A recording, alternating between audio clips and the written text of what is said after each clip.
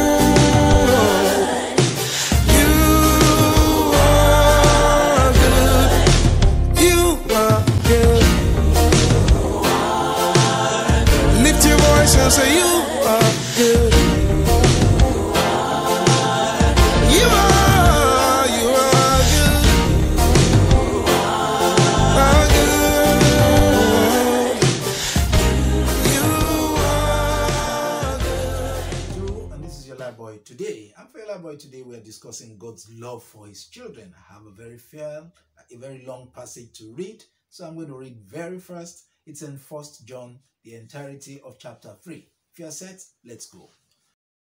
See what love the Father has given us that we should be called children of God, and so we are.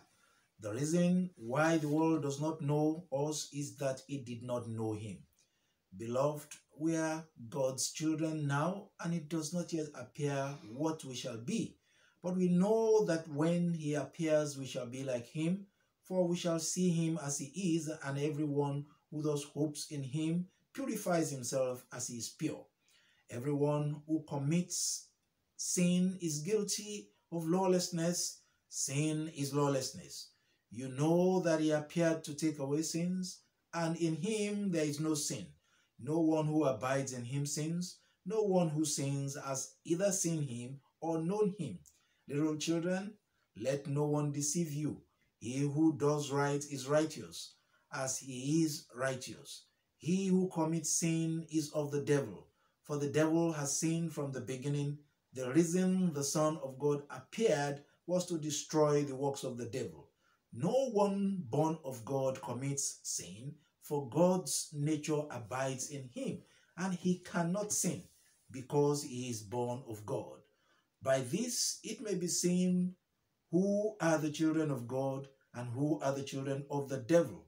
Whoever does not do right is not of God, nor he who does not love his brother. For this is the message which you have heard from the beginning, that we should love one another and not be like Cain, who was of the evil one and murdered his brother. And why did he murder him? Because his own deeds were evil and his brother's righteous. Do not wonder, brethren, that the world hates you. We know that we have passed out of death into life because we love the brethren. He who does not love abides in death. Anyone who hates his brother is a murderer and you know that no murderer has eternal life abiding in him. By this we know love, that he laid down his life for us, and we ought to lay down our lives for the brethren.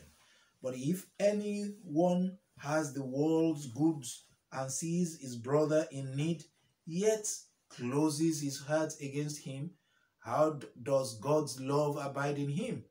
Little children, let us not love in word or speech, but in deed and in truth.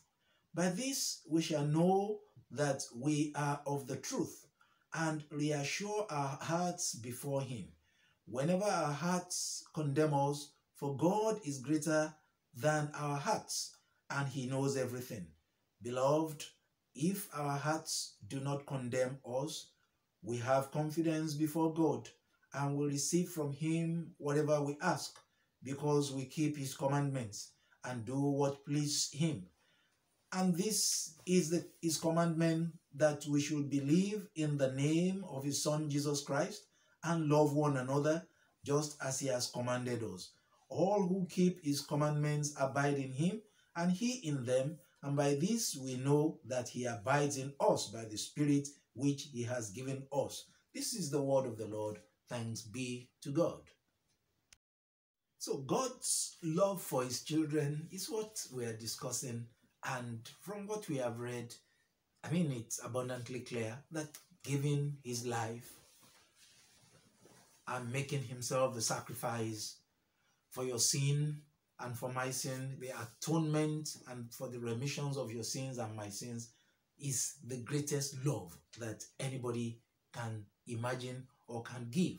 And that's why John 3:16 tells us that God so loved the world that he gave his only begotten son that whosoever believes in him might have eternal life and not taste of death.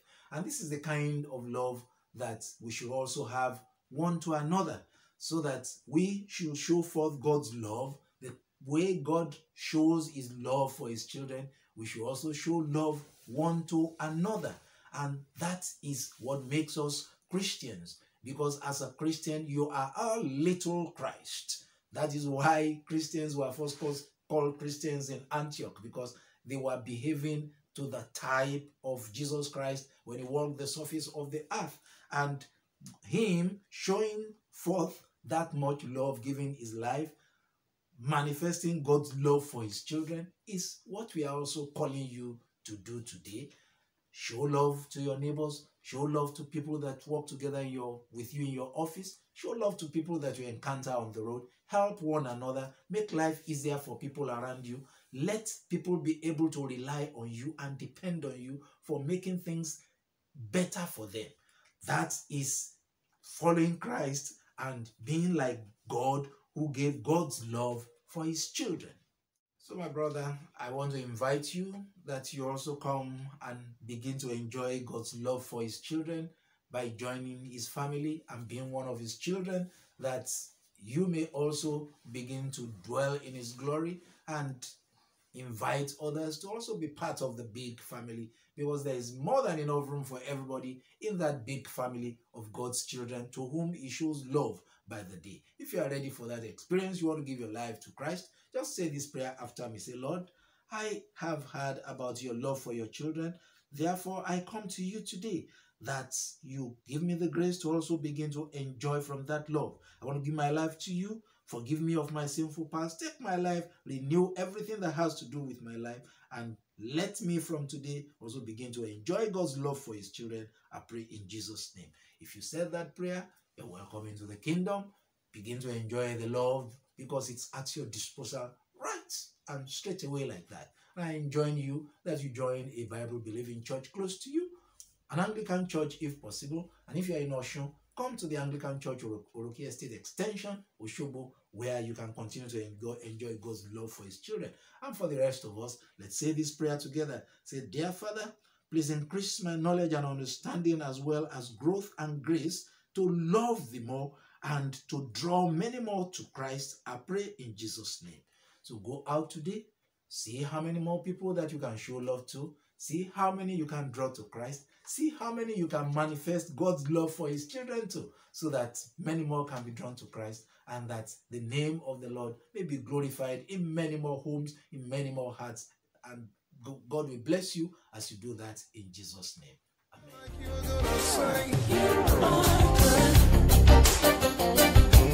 I judge you faithful. I call